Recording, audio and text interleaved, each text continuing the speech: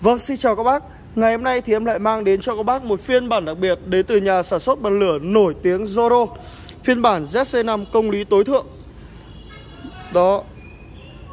Và đây là phiên bản đặc biệt của hãng Do vậy được hãng đầu tư và chăm chút rất là kỹ lưỡng Với lớp vỏ đồng Cực kỳ dày Lớp vỏ đồng cực kỳ dày Mạ bạc DMI vàng ở các viền.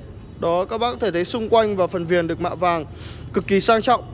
Thiết kế thanh mảnh Thiết kế thanh mảnh và trau chút rất kỹ từ các góc cạnh nhỏ. Vậy nên là chúng ta có thể thấy là không có một điểm trừ nào ở khâu thiết kế của chiếc bật lửa Zoro ZC5 này.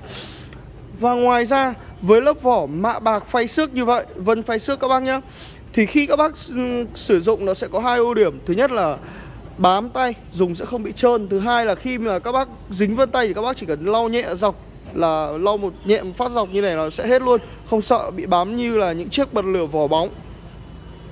Và ngoài ra, Chiếc bật lửa này sử dụng xăng và đá của Zippo, Do vậy chất lượng cực kỳ tốt. Đó, Các bác có thể thấy, đánh lửa rất là nhạy. Đánh lửa nhẹ nhàng nhưng vẫn nhạy. Xăng và đá Zippo thì các bác biết rồi đấy ạ. Bề tốt nhất và bền nhất cho bật lửa. Đó, Cực kỳ mỏng và không chỉ thế đâu Với 300 ngàn các bác được những gì ạ? Với 300 ngàn các bác được bảo hành tận 2 năm ạ. Do đây là phiên bản đặc biệt Vậy nên chiếc hộp cực kỳ sang trọng. Và không chỉ thế đâu Dành tặng cho 20 người đầu tiên Để lại số điện thoại bên dưới phần bình luận. Một vỉ đá và bấc Các bác có thể yên tâm khi sử dụng các bác nhá.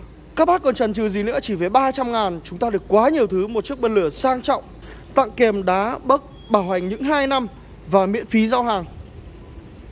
Còn chần chừ gì ạ? Hãy để lại số điện thoại thật nhanh tay. Xin chào các bác.